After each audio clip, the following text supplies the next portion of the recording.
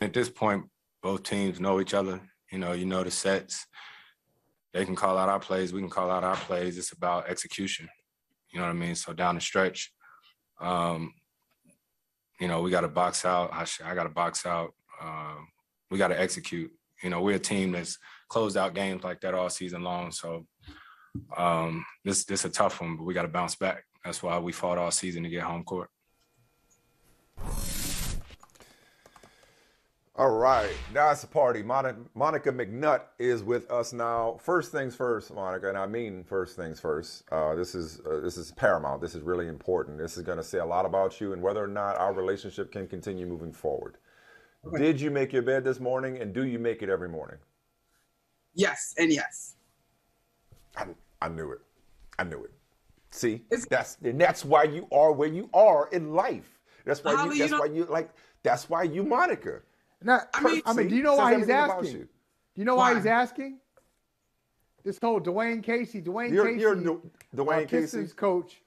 Yeah, yeah. Ask prospects if they make their bed. If they say yes, that lets him know about their level of uh, attention to detail and their level of organization. And those who don't make their bed, Casey might say, aren't as organized, aren't as focused as those who do. No lies detected. Interesting. No lies detected. It's an interesting theory. I think that's a, a little harsh as a theory. I will share my theory. I don't like getting into an unmade bed. So like when I, I'm I'm big on like rest and sleep and the whole thing. So when I walk into my room, it's more like, oh, I'm here to rest, unwind. Uh, unmade bed is like unnerving to me at the end of the day. See, that's, that's good. That's a good right answer. There. And people, yeah. Yeah. and people who tell me, uh, who really know who really know uh, beds say you need to upgrade the sheet game to linen linen sheets. Uh, now, hearing that during a heat wave sounds very uh, unsettling, but they say it will change your life. And if you iron your sheets too, iron your sheets, it really is great. I don't right.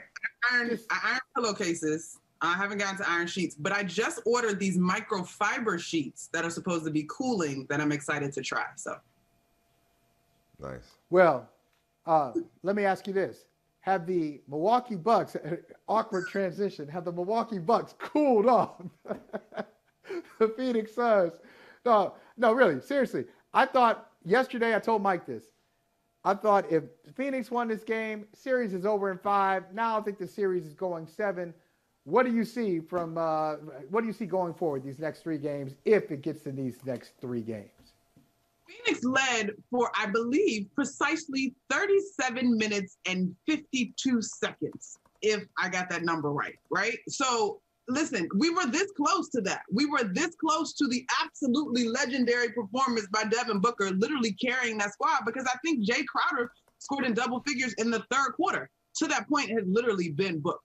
I agree with you. I do think that this series is going seven. I picked it to go seven and go to Phoenix um, initially, though, but I think what we saw last night was the formula that we've seen from Khris Middleton through the playoffs, except it came a game late. Statistically, his game three performances have been a whole 10 points better. And I believe he's averaging like 11.3 rebounds in those games over the course of the postseason.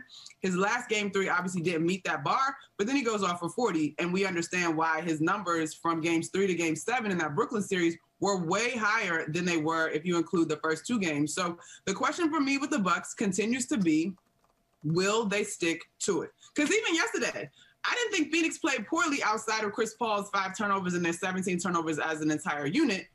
But you had Giannis pulling up for two threes. Why? For what? You've been like flawless in unrestricted area. What are you doing? No question. Uh, speaking of what are you doing, and, and, for those that don't know, if you don't know, you should know, and, and now you know. Uh, Monica McNutt is a part of uh, NBC Sports uh, Olympic coverage, uh, so looking forward to seeing you hold it down. And the story uh, is perhaps more interesting than you thought it would be as it relates to Team USA men's basketball, um, given those losses to first Nigeria, then Australia, who they see again this weekend, as well as Spain. But then they bounce back against Argentina. So, what is your level of concern through three exhibition games uh, for Team USA as we get closer to Tokyo? Guys, Team USA had not one, not two, not three, four, four whole days of practice before they took the court versus Nigeria. And so, yes, Thank you, Monica. as Americans, we are accustomed to, at least in our mind, because if you go back and look at some of the numbers, I don't know if it's as much of a steamroll as we have now imagined it to be. We're used to Team USA being dominant. I get it.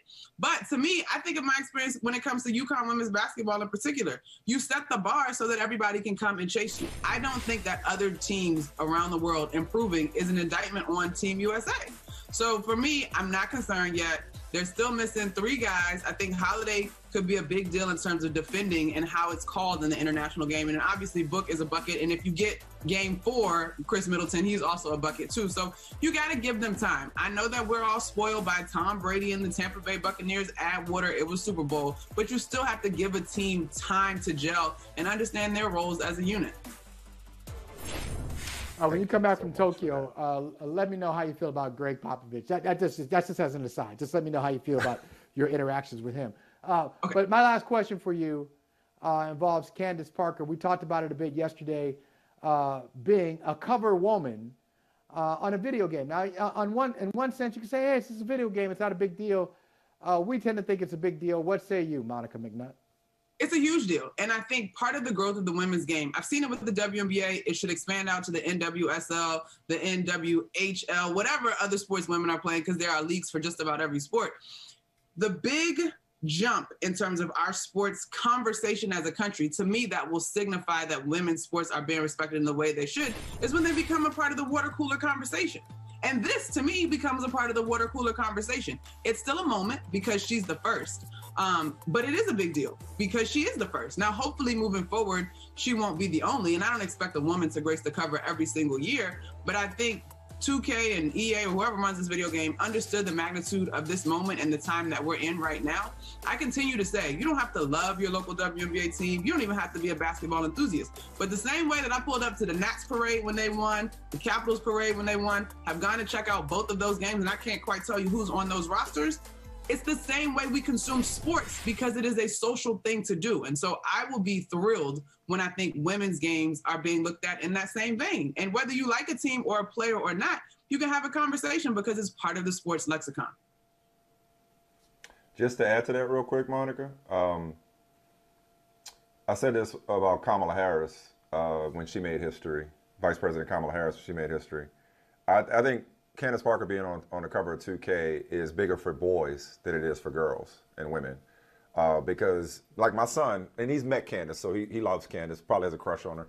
But, um, you know, he plays 2K and he plays with Candace and but he loves 2K. So I think the more young boys can see and and, and uh, women's players and women's athletes this in the same vein and on the same status and same pedestal, if you will, as men's athletes, the more that level of equality, if you will, or, or equity, even if you will, uh, will start to kind of just be normalized within our culture, if that makes sense. You know, so I think it's, it's, it's big for the boys, the, the kids that are buying these games to see Candace Parker uh, on the cover uh, of, of, of a franchise like NBA 2K. Monica, if it were up to me, you'd be on the front of NBA 2K, especially after knowing that you make your bed every day. So thank you so much for falling through and dropping knowledge.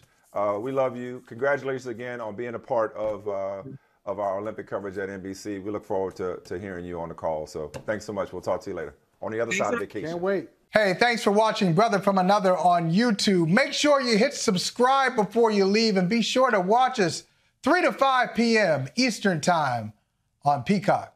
Appreciate you.